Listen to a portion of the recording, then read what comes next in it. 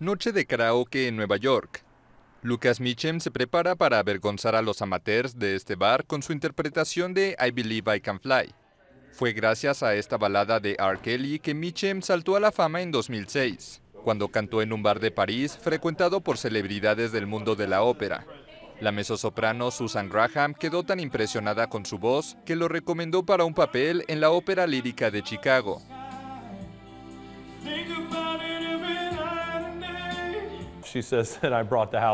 Ella dice que hice vibrar el lugar, así que sí, de ahí surgió.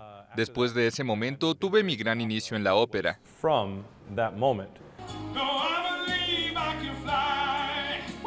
Mitchem creció imitando canciones populares en la radio, pero fue gracias a un regalo de Navidad que descubrió la ópera.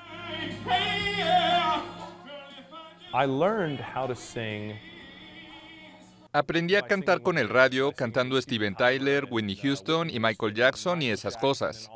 Cantaba eso y un año mi mamá me dio para Navidad un cassette de los tres tenores. Y de repente tenía este tipo de canto que yo no podía replicar, no los podía imitar. Después de escuchar eso, cambió mi vida para siempre.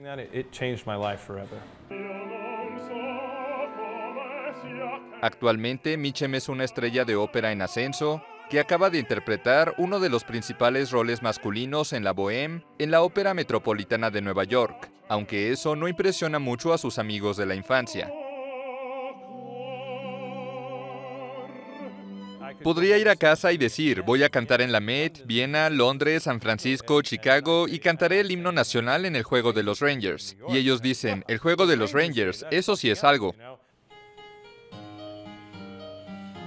Entre estos dos mundos y pasiones del karaoke y la ópera, Michem, ganador de un premio Grammy, también publica el blog del barítono, donde ofrece todo tipo de consejos con el deseo de ser mentor para nuevos talentos.